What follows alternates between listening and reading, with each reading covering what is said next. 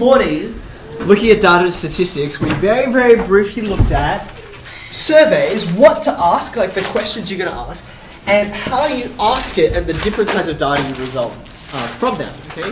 Now, after what and how, the very obvious question that we didn't ask was, well, who are you going to give these questions to? Okay. Who are you going to ask? Now, whoops. Who to ask? This question has two answers to it, really. Uh, one is really expensive and time consuming and almost always impossible.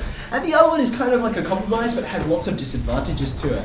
So next week, everyone's household is going to be doing the Census. census, right? The census is the first answer to the question of, well, who do you ask? And the, the answer of the census is just ask everyone, okay? Now let me be a little more specific on that. When we say everyone, okay? A census is asking everyone, and I'm just going to be a little more specific here, to say everyone in the target population. Everyone in the target population. Now, that phrase, target population, is pretty important. So let's just underline that, right?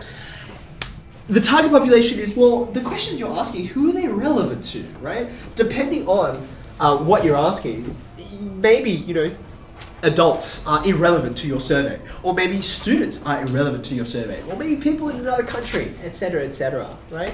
So the target population is who is your survey relevant to? Yeah. Like a s- particular generation, maybe? Yeah, you could slice it up however you like. A particular generation, only men, only women, only, you know, whichever whatever other number of answers you have. So, who is the survey or the questions uh, relevant to?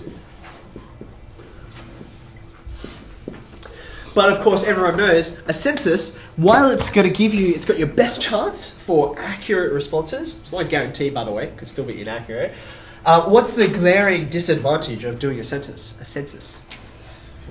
There's a lot of people. Yeah, that's right. Like if you're saying absolutely everyone, um, it's expensive, it's time consuming, which is another way of saying it's expensive, and um, as a result, it's oft it often just can't be done. Like it's it's impossible or it's impractical to do, um, which is why this whole idea of doing the census once every five years it's a big deal. Everyone's got to stay put in a particular place to do it. Otherwise, you've got completely inaccurate data.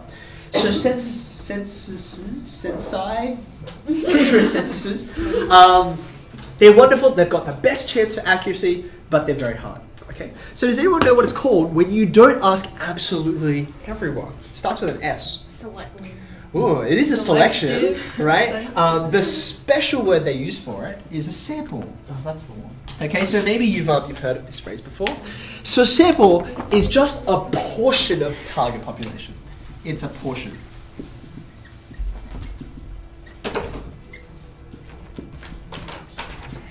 Now, clearly, this is um, this has been devised to overcome these exact problems here.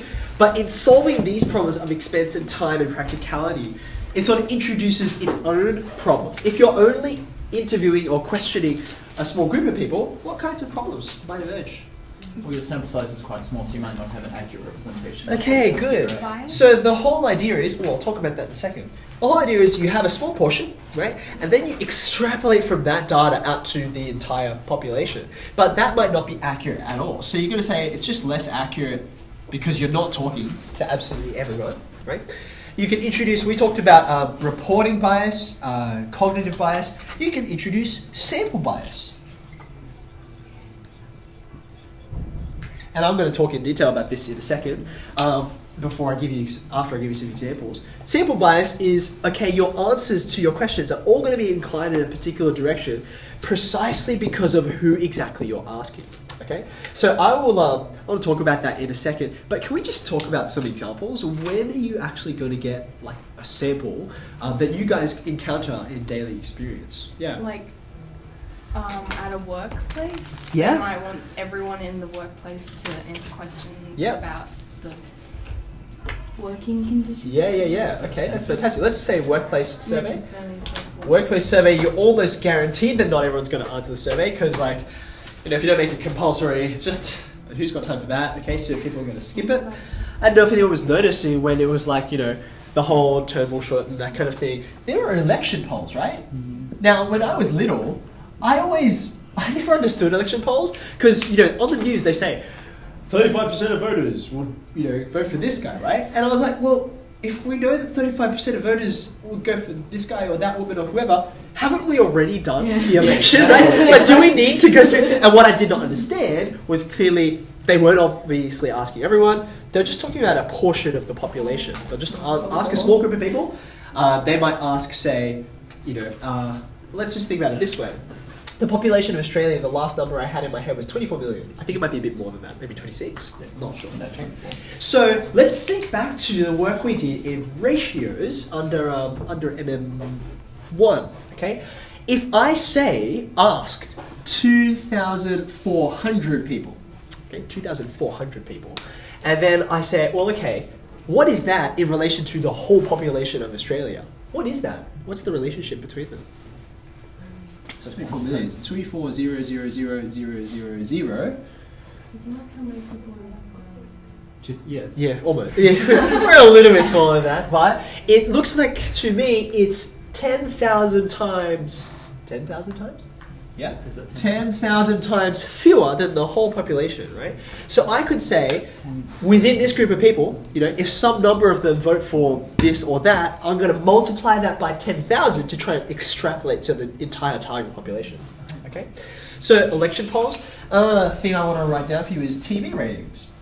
And does anyone know what the name of the company that organizes TV ratings is?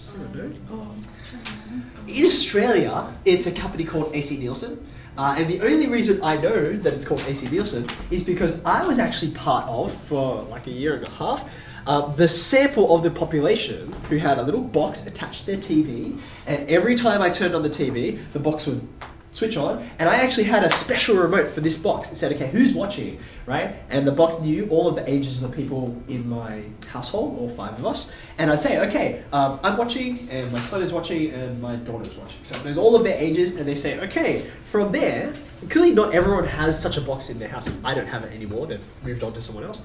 They're going to say, like, have you ever wondered, like, oh, 3.4 million people watched the finale for Game of Thrones this, you know, this week. It's like, how that? Did they go and count? The answer is no. They did something like this, right? They took a small portion of the population, maybe one ten thousandth of the population. They said how many of those people are watching, and then they multiplied it up. There was a little more to it than that, but that's the basic idea. Okay. So all of these kinds of ways of doing it. Now, these problems of um, sample bias, right? This is very, very important. So we need to think about the kinds of problems that can emerge, and I'm going to give you some examples of who gets asked, and therefore I want you to sort of workshop with me. Well, what kinds of problems are going to emerge here? So we talked about the um, four ways of posing questions to people. Do you remember what the four ways were? Can you think back like an hour and a half? What were the four ways? Like after you got your questions, how do you pose that to people? Face to face? Okay, number one, face to face. We'll go from like most expensive to least expensive. After face to face, there was Phone. the phone interviews, then Paper. paper, and then Online. Okay, so those in, are in order of price, right? Now, if I say did a phone survey, right, and if I did it, for instance, let's say 10 a.m. on a Monday. Okay? Yeah, it is annoying, right? 10 a.m. on a Monday, right? And I rang people's homes, okay? I'm going to get a portion of the target population. There will be people at home at 10 a.m. There will be lots of people. But now, okay, so who will it be? And the answer is it's obviously going to be skewed towards retirees, people who aren't, you know, working anymore. Who else is it going to be skewed towards? Uh, people who are unemployed, um, stay-at-home mums and dads, all that kind of thing, right? Um, full-time students, etc. Well, part-time students. Anyway, so you can see just by asking it a particular way, a sample bias is introduced. Does that make sense? Okay. Um, you know, election polls and that kind of thing. Let's think about as another example. What if you go to a particular area, right?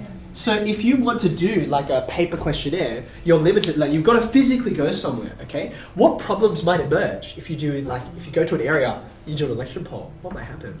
Well, they're going to be guys. Depends on the in that area. Yeah, fantastic. So some areas are clear. It's like, yep, this is definitely coalition, or this is definitely Labour. Like it'll be a landslide victory. So depending on where you go, a new sample bias gets introduced.